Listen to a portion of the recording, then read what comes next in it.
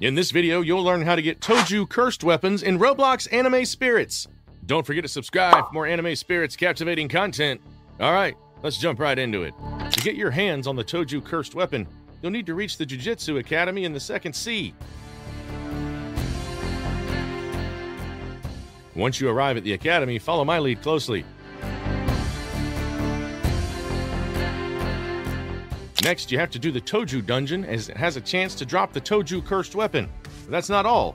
You can also grab a cursed scroll from this dungeon. The scroll is essential for unlocking the final skill of the weapon.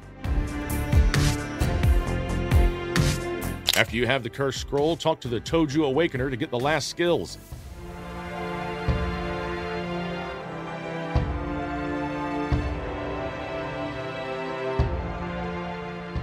And there you have it, folks. That's how you can get the Toju cursed weapon in Roblox Anime Spirits.